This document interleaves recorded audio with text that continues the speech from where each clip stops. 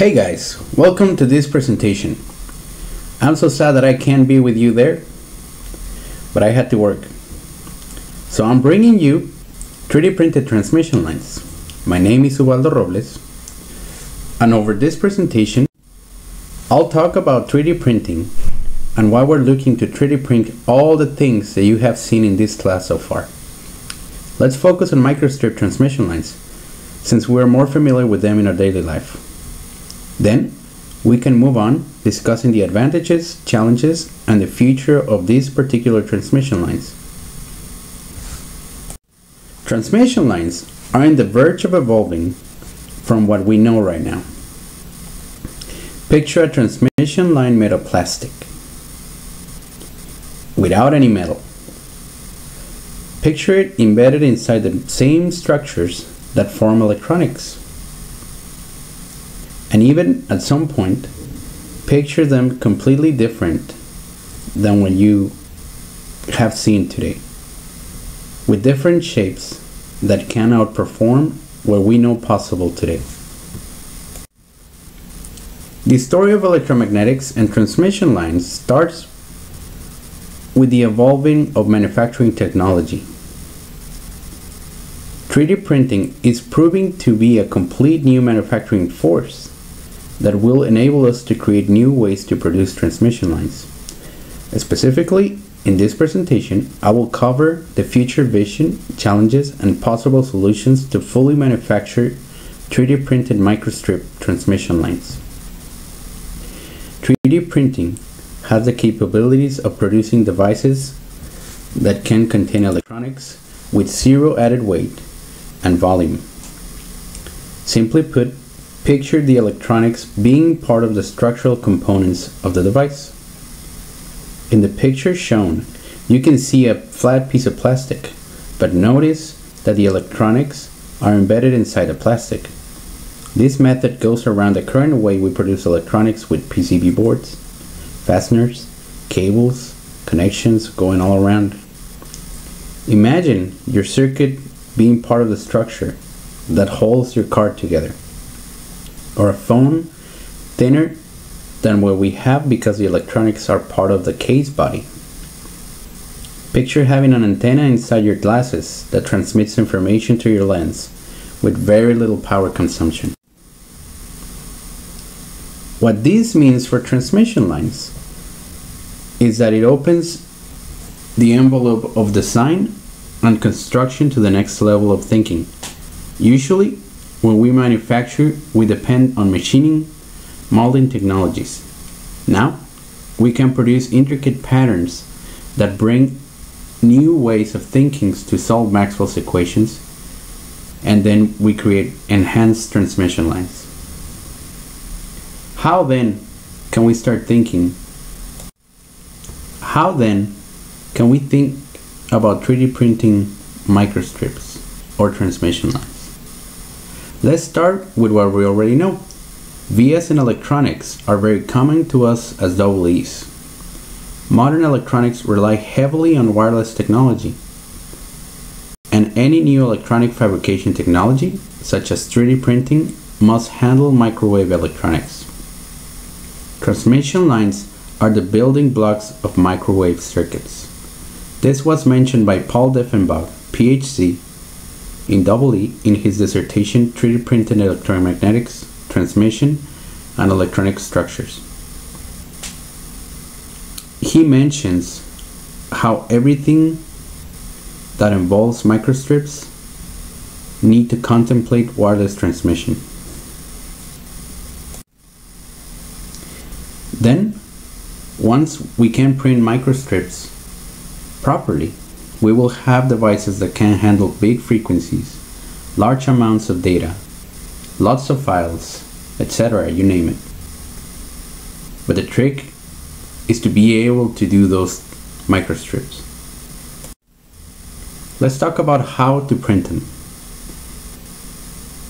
Is it as easy as pushing the button on a 2D printer and just wait for the page to go out? Or in this case, the part to come out? Not really. 3D printing with its new use of the Z-axis needs more TLC to reach successful works. First, take the example on your left. It's a simple circuit with a microchip and some components. We need to rethink the way we place our vias and our components and create a full simulation using CAD software.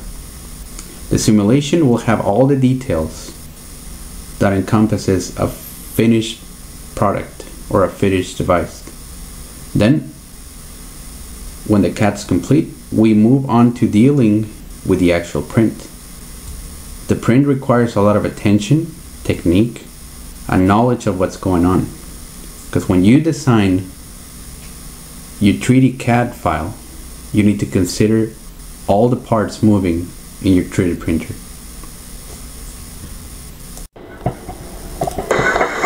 Everything is a challenge when we talk about 3D printing, but the hardest thing right now is to make our models a reality. We have previously worked with CAD software, but here, while you were looking at a micro dispensing printer connecting electronics using silver ink, it wasn't easy. It took a lot of research to get to that point. Some of the challenges that we need to face are printing real small and still pushing the limit to get even smaller. The circuit that I'm showing you is something that I just designed and it has a 500 micron separation between the pins of its microcontroller. And right now it is a challenge just to print conductive lines that close and that small. On the other hand, the vias that span on all axes and going through materials with bends are very difficult to achieve using inks. Think about trying to paint using watercolors and one single hair as your brush. Sounds right. And sounds easy. also, notice that this circuit doesn't have a ground plane. If we're moving away from designing electronics like a map and think more about creating electronics that resemble a tree, then we need to think how to incorporate ground planes to this problem. If we eliminate the ground plane, then we will have a transmission line that will work as a little tiny antenna and then we'll run into problems. One solution that you might want to consider is to use different types of transmission lines that will have its own ground plane incorporated. Just as the two-wire transmission line we studied earlier, we can use the concept and have one of the wires be in charge of sending the signal and the other wire be in charge of being the ground plane. This could work because the electromagnetic fields will be contained in that area as you can see in the simulation. On the other hand, we can use a coaxial cable. Coaxial cables are known to contain electromagnetic fields within their core and their dielectric. But then we run into big problems of how to manufacture these things. If we go with a two wire approach, we'll double the amount of lines that we need to do for our circuit. If we go with the coaxial, we have to have a method that prints everything in the coaxial at the same time, dielectric and metal. In conclusion, 3D printing is what we're looking to advance the technologies that you've seen in this class so far.